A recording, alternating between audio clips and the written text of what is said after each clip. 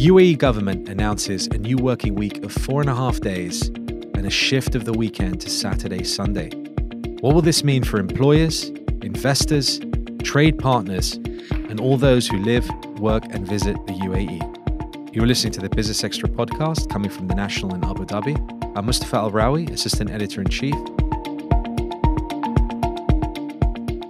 If you like this show, please do subscribe at Apple Podcasts, Spotify, or wherever you get your audio content.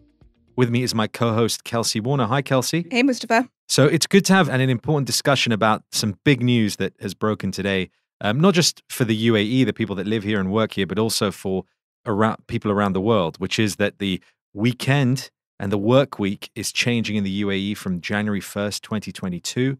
We're going to a four and a half day work week. We're going to a Saturday, Sunday weekend. Now, this is for government workers, to be specific, federal government workers plus Dubai and Abu Dhabi government workers confirmed. Schools will come into line with this new weekend change.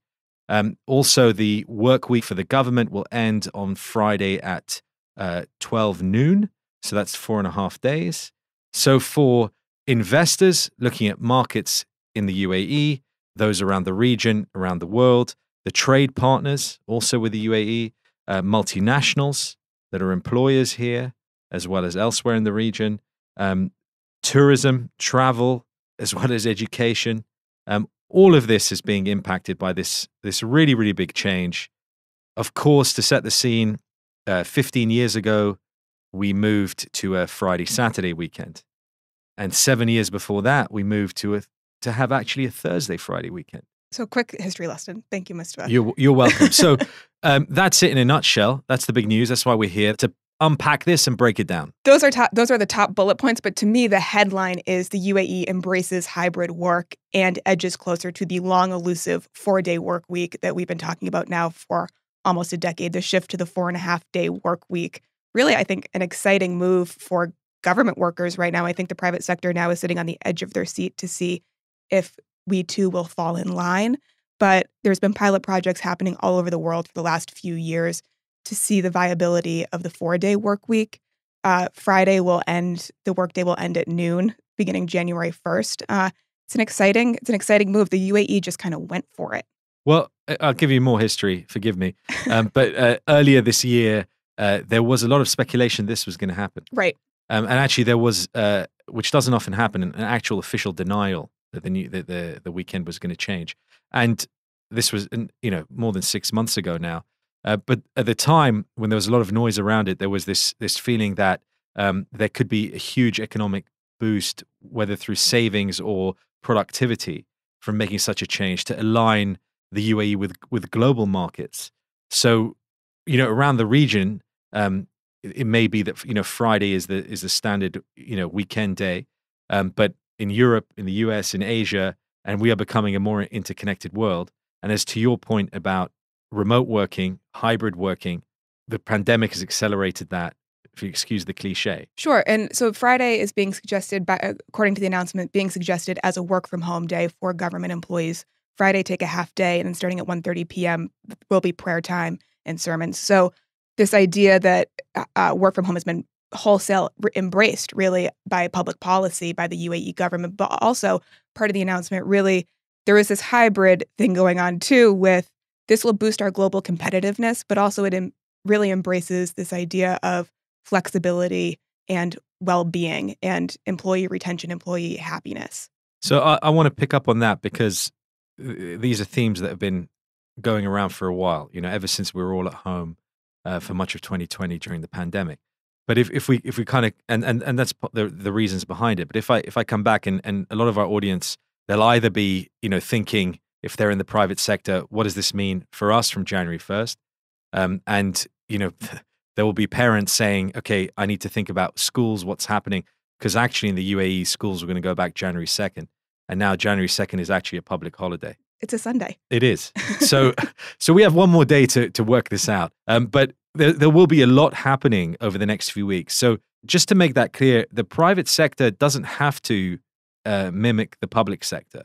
But given that you would expect that financial the financial sector would will fall into line with with what the government's doing. You'd, you'd expect that, but it's not confirmed.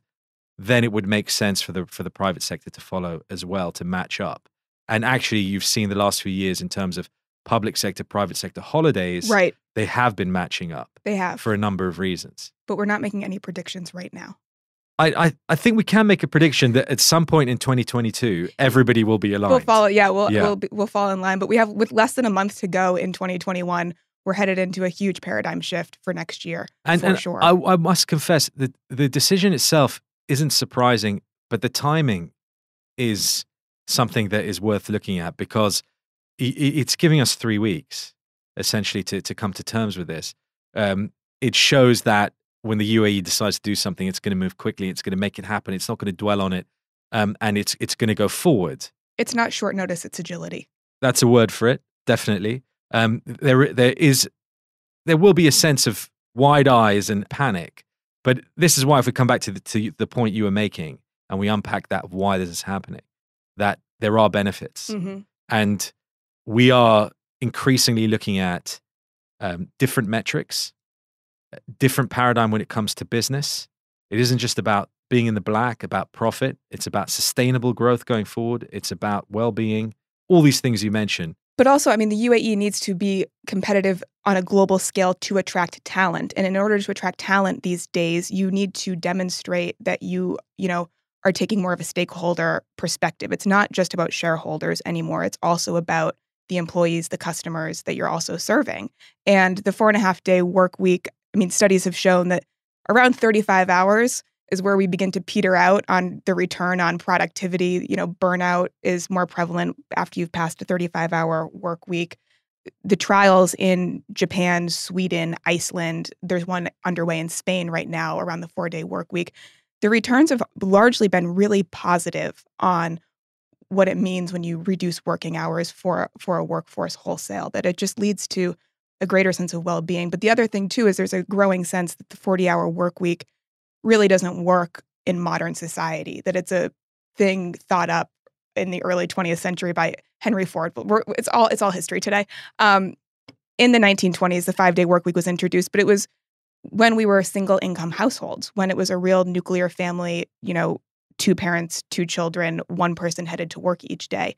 The world looks a lot different now and you know rise of technology rise, rise of the digital nomad we demand flexibility and there are a lot of different types of workers who need different types of flexibility. And this on a public policy level i think starts to get into that and it's exciting that it's beyond a pilot that this is this is law and that's that's cool. It is exciting. It's thrilling to see this sort of happen in real time, yeah. and and to also, you know, we're all kind of in it together as well, um, working out how what this is going to look like, and it's going to be pretty soon in 2022, um, which is not long, not long to go at all.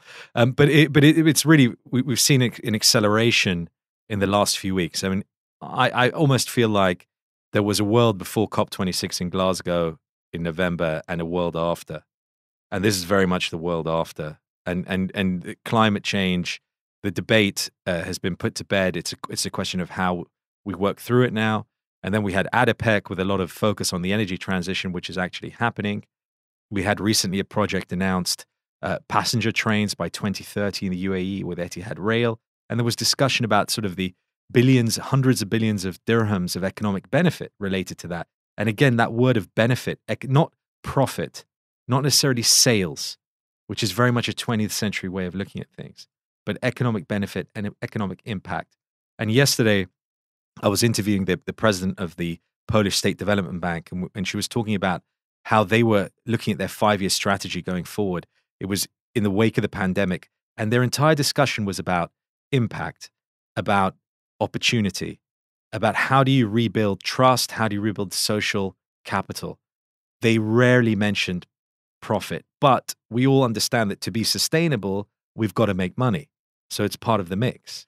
Four and a half day work, reducing the work week and changing the weekend isn't a signal of like everybody put your your tools down. No, au contrary. And in fact, go out and actually spend money. Domestic tourism then becomes more relevant. Jacinda Ardern of New Zealand, early on in the pandemic, actually pitched to New Zealand, her, her you know, her voting bloc, that they try out a four day work week as a means of COVID 19 pandemic recovery. That the shape of life should actually look different post pandemic. And you spoke to the energy transition we're in. We're in a recovery transition.